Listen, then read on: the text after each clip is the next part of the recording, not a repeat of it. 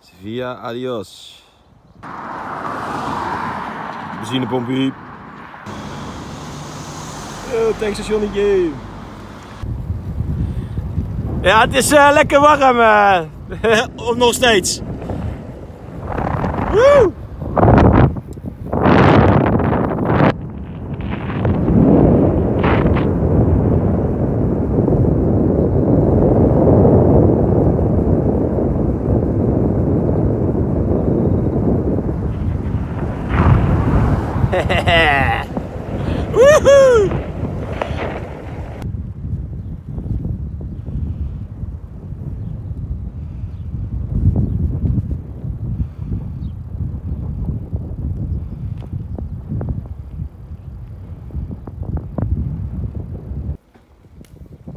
Iedereen heeft hier gewoon tralies voor zijn ramen.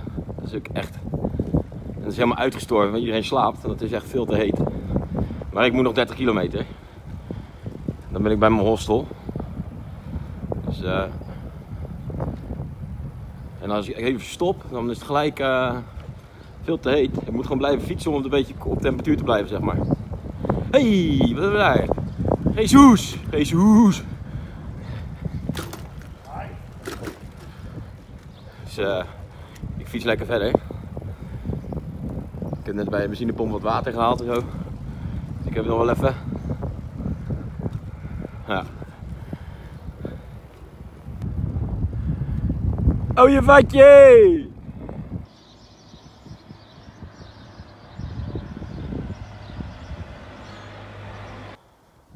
Oh je vaatjes! Elke mast hè? Kijk daar jongen. Helemaal tot achter je toe. Ah, mooi man. Nou, het was uh, vandaag dus een stuk, een stuk frisser als gisteren. Het was maar uh, 40 graden in plaats van 43 graden.